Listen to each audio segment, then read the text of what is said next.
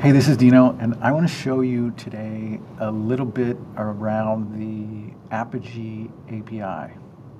So with Apigee X and Apigee Hybrid, there's an API that you can invoke using curl or Postman or your favorite uh, REST client to do different operations against the Apigee organization or environment. Um, so I'm going to kind of give you a quick tour of that. So the first thing we need to do is understand where the endpoint is, and that is at um, apigee.googleapis.com. So I want to set a variable in my shell.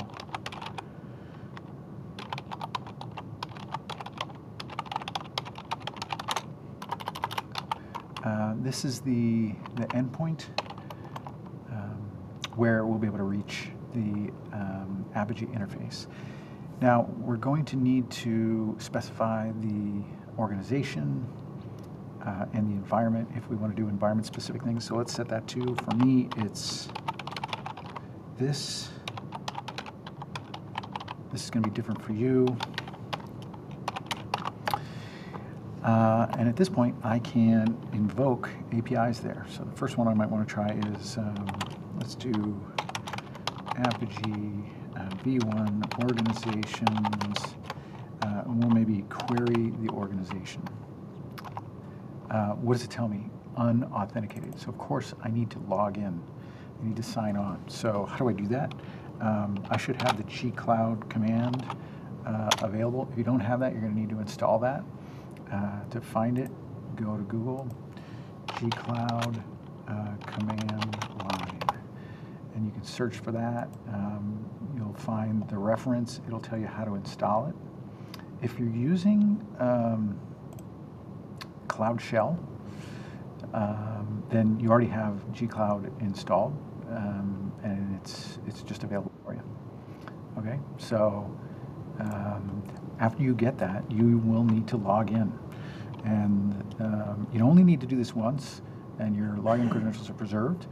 But um, the first thing you need to do is gcloud auth uh, login. What's it going to do? It's going to tell you, um, do you want to continue? You should say yes then it's going to give you this long uh, URL. You need to copy that and paste that into a browser address bar. That's going to allow you to log in, pick an account. You will have to enter your password if you're not already authenticated, and then it's going to ask for some consent. Um, after you read through that and, and verify that consent, um, you'll get an authorization code. You should paste that in, and now you're logged in with the gcloud command line tool. Okay, what good is that? What we want is a token. So we can say gcloud auth print access token.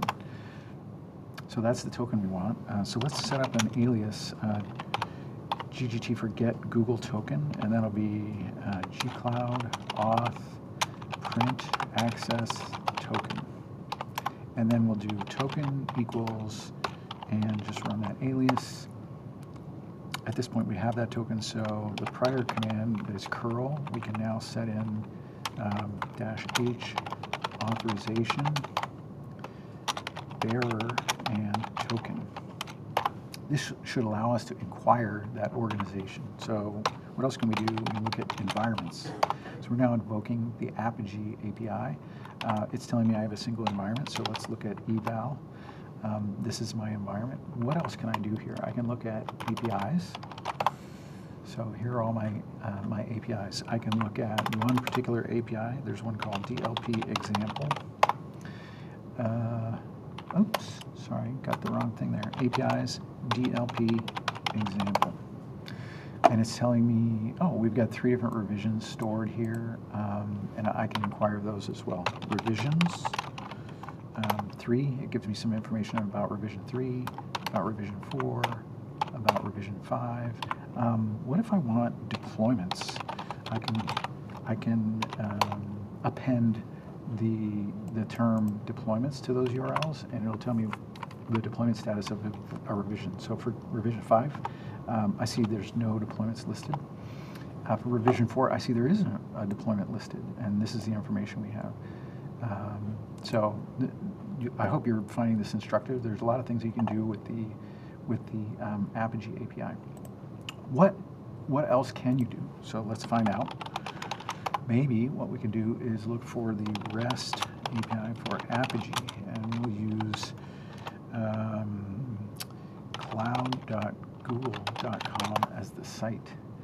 Um, and here you have the information on the Apigee API, and it gives you the full reference for um, for all the the different uh, things that you can do in in um, Apigee.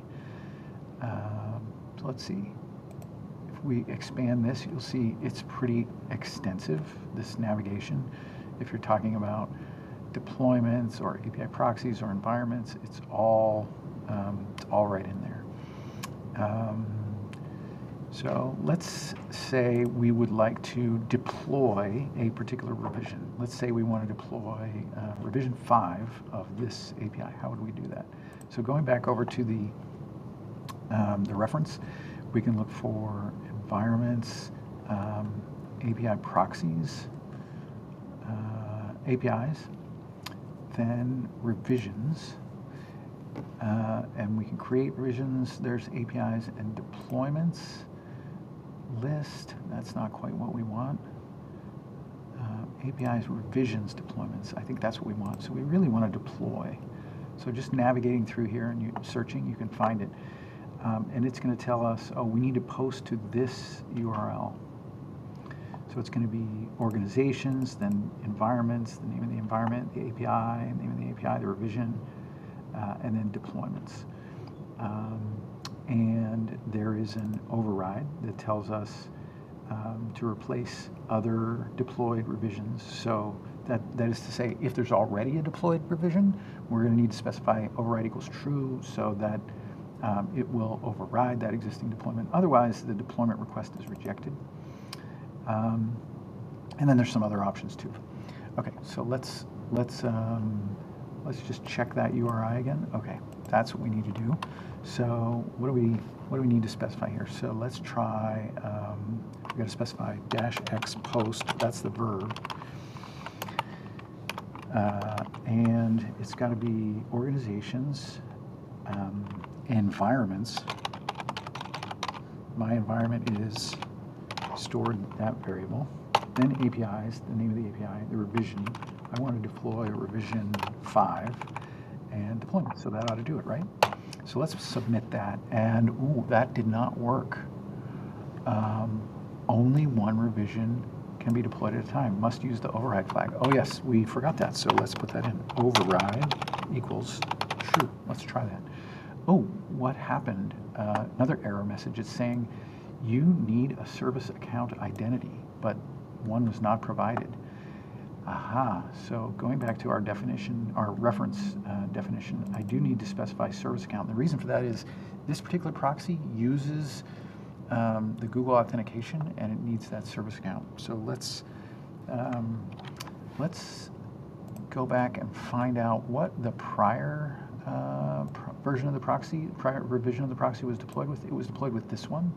That's the service account. So let's try that. So we'll do override equals true, ampersand, service account equals, and then that thing that we just copied, that uh, service account email address. And um, that works. So it said, okay, got it. We've, we've got your request to deploy that thing, and it's now being deployed. So that's all using the REST API that is defined here in the um, in the reference for, for Apigee. There is another option, uh, and that is using Apigee CLI, the command line tool. So there's a built-in, or the uh, an open source command line tool.